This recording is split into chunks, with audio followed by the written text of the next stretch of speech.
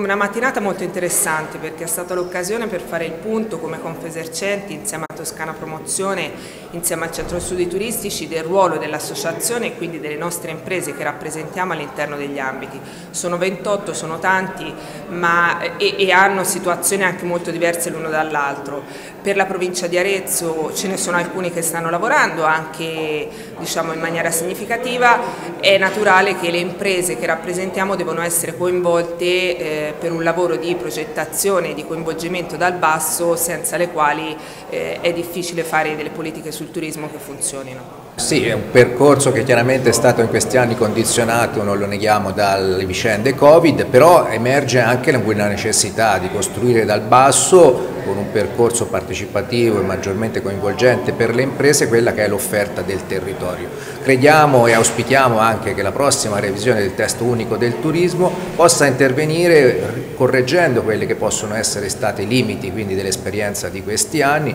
certo è quello che chiediamo da, da sempre alle amministrazioni comunali, ambito Val di Chiana Retina, ma sostanzialmente un po' per tutte quelle che sono le esperienze del nostro territorio, di auspicare, di confrontarsi sempre maggiormente con le associazioni di categorie, con gli attori presenti sul territorio che per primi vivono quotidianamente quelle che sono le criticità e quelli che sono invece gli aspetti di forza da valorizzare nella costruzione dell'offerta dal basso per vendere il nostro splendido territorio della provincia d'Arezzo.